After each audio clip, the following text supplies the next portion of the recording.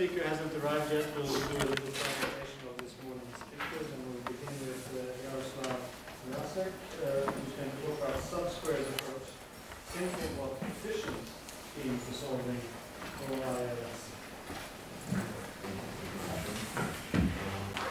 Hello, it's, it's very nice to be here uh, in such lovely place as. Uh, uh, my name is Jaroslav Horacek, I'm from Prague, from University. My supervisor is here, Milan Milan Uh, I would like to talk about something I only mentioned last at last SWIM, but since then we, we have made some, hopefully some, some progress and some more interesting. Uh, Today I would like to present some simple scheme for developing algorithms for solving overdetermined interval linear systems. It's just a simple thing now, but we, we believe it can, it can be, be used like building blocks for some more complex things. so we, we, we just start with a little bit of basic notation. Uh, then I will mention what we mean by interval linear system and its solution. Uh, and then we, we go on to some general, general proof and we develop two algorithms, the ninth one and the sequential one. And uh, in the, uh, at the end, uh, we will provide some numerical results and some, some discussion of parallels and uh, languages of this adaptation.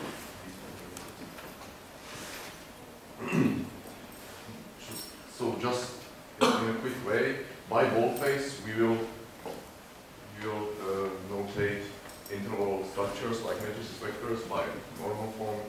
Uh, they will mean pointing matrices vectors. Uh, interval structures can be defined by upper and lower bound and by a midpoint and its radius just to get used to this notation.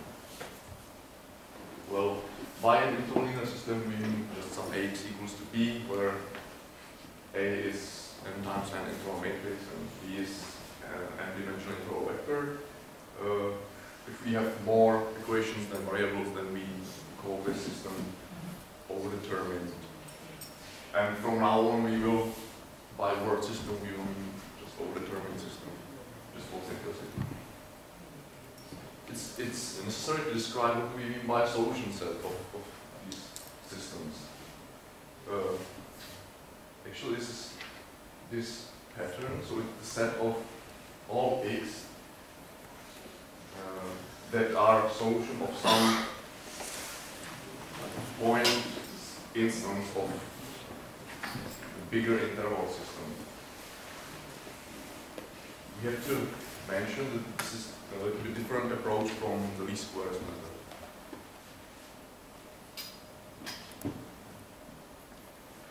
When you have this solution set, it actually uh, can be a little bit difficult to, to describe, to be described.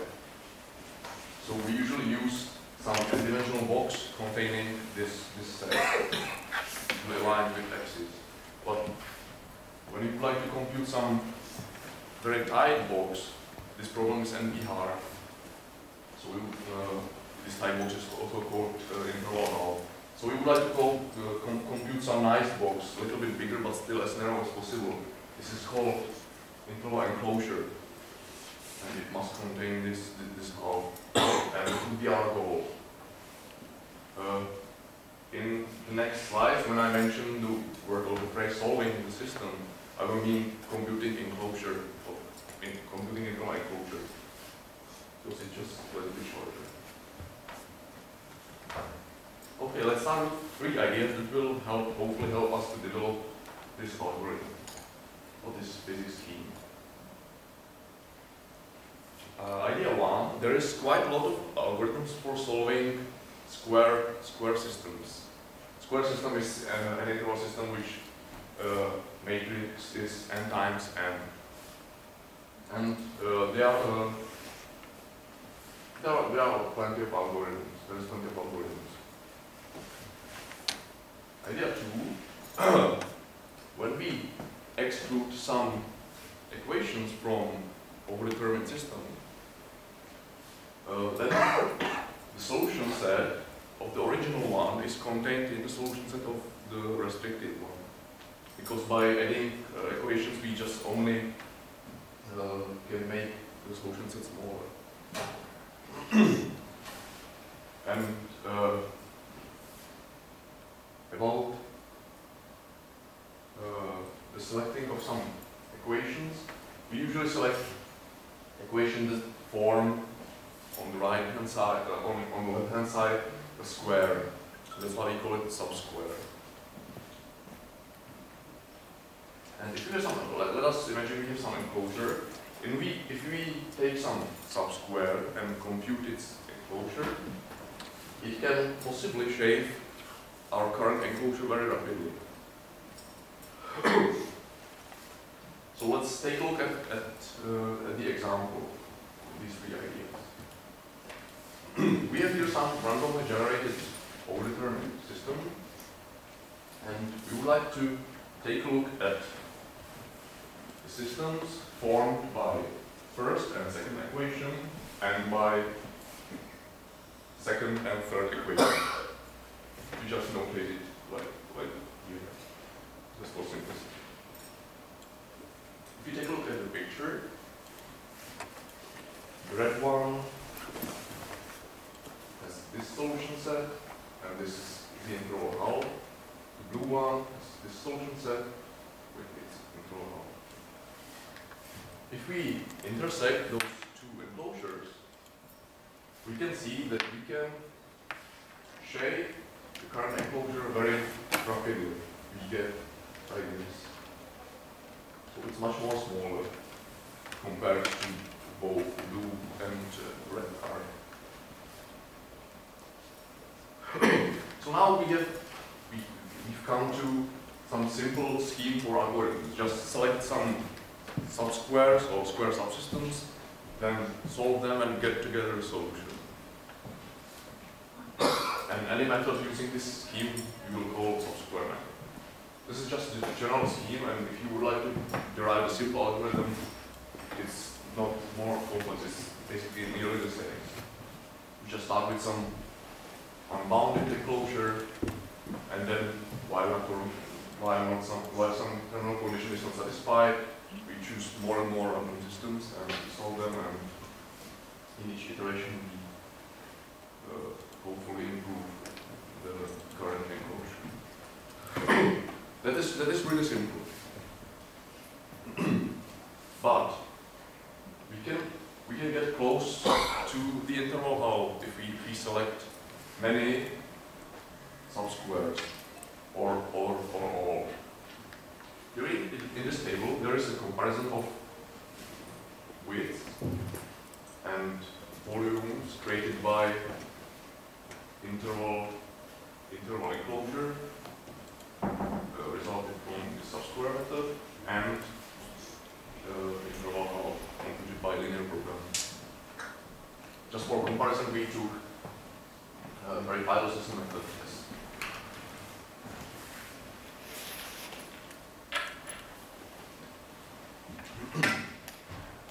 And on the, in the table we can see average ratios from many iterations.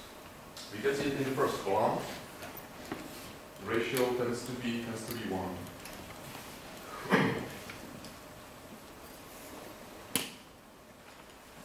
Actually, if you want to select many or all systems, they are m o, the number of them is m over n, which is pretty large number. But for some systems, it's it's not too many. For a nearly square uh, overdetermined systems or for noodle-like systems, the number is possibly not, not too high. Moreover, we can reveal unsolvability using, using this, this technique. If in this intersection some empty set occurs,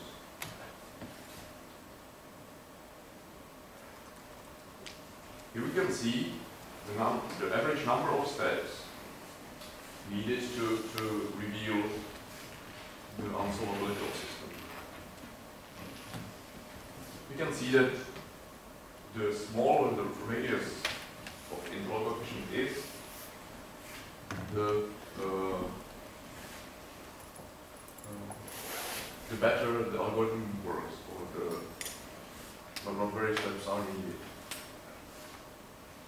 And it works quite fine even for quite large systems. Okay, now, now we have something, some, some way to solve. we would like to make it a little bit better.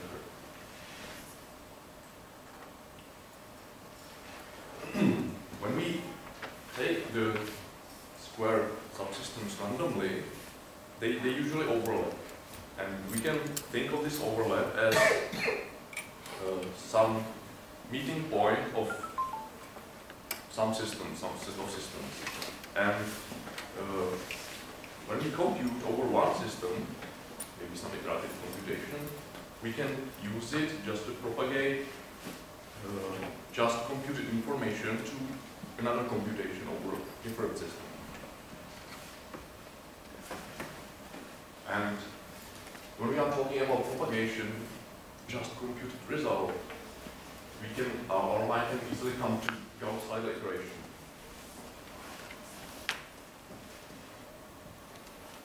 Which is just here. the iterative method, Gauss-Seidel iteration is, usually takes some initial enclosure. We can take this enclosure of some subsquare or we can take uh, an input of some different algorithm and in k step we provide the k Gauss-Seidel iteration for all the systems.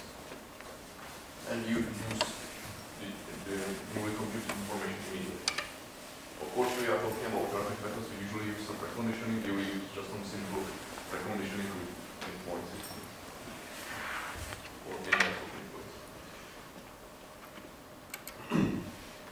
There's a question how to select the subsquares. We would like to develop some algorithm that is simple, but that uh, has some favorable properties in, inspired with some bad one of, of the simple algorithm.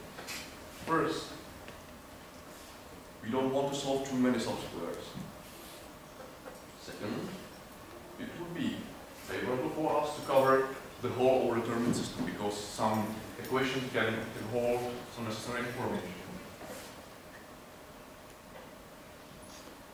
You would like to take some ideal overlap because if it's too low, it has no sense for propagation. If it's too high, then there is no sense of this overlap. And four, uh, we would like to take in advance sub-square uh, the, the shape resulting enclosure as much as possible. About the solution to these ideas, uh, 1 and 2 can be solved by powering the system deterministically using some overlap parameter. About 3 and 4, it's not, uh, not so easy. We believe 3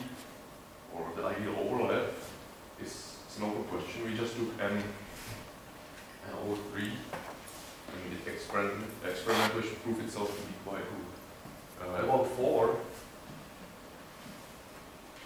we believe that is even more difficult question to be answered, and we, we took randomness, used the randomness. so about this select, selective algorithms, we just divided the equations of the overdetermined system into two sets, like covered and, and waiting, and in each iteration we just, uh, in first iteration we took n equations from covered, and in the next iteration we just took n minus overlap equations from waiting, and we added overlap equations from covered, just to form square system. And we, we did it until the waiting set is, was not added. well, we have just made some two algorithms, the simple one and the sequential one. A little bit more complex, but still, still simple. Now it's time to look, uh, time to look uh, how, it, how it works. In way of algorithm. this table, or for each system size, uh, we generated, uh, generated hundreds of s- uh, random overturning systems. And for each system, we uh, chose many coverage sets. So in these two columns, there is a, for, a- and I forgot to mention, we used the verify system from INTLAB 6 just to uh, provide an input for, for our method. Because, as I was talking last year, uh, verify the system is quite, uh, quite universal method for solving overdetermined systems. Uh, it actually works really fine with some uh, small intervals, but when the, the intervals became larger, then it can have some problems. And That's why we, we chose the large uh, in, in this column, we can see the average improvement that our method uh, made on uh, verified associated closure. And in this column, from each coverage set, the best one was taken, and this is the average of all hundreds of systems. We can see that if we are lucky, the, the shaving can be really significant. Of course, if you take a look, at times our method is much slower, but actually it solves a little bit different, different problem. Because it tries to shade the currents as, as much as possible. Actually, we just, here we just took random systems. And if we take the systems where the mid, its midpoint is solvable because of this preconditioning with the midpoint system, we can improve the enclosure much more.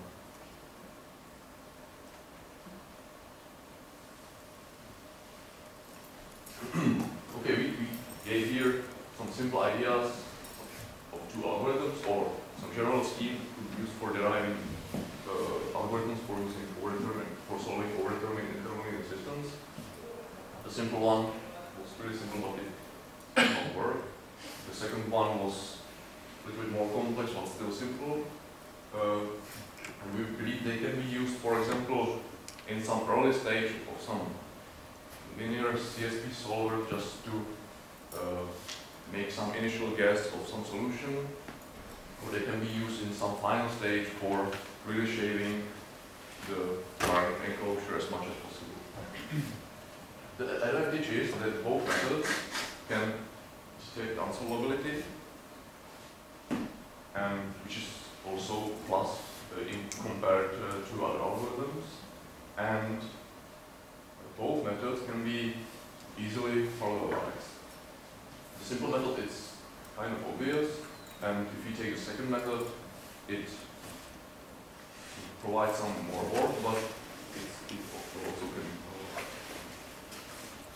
However, there are some open problems like which systems to choose, or how to set the parameter overlap, or maybe believe there is a way of uh, making making it uh, run uh, effectively in parallel, like uh, on GPUs. Uh, uh, similar computation. Okay, that, that's all from me. Thank you very much for your attention. If you have any questions, I'd like to answer.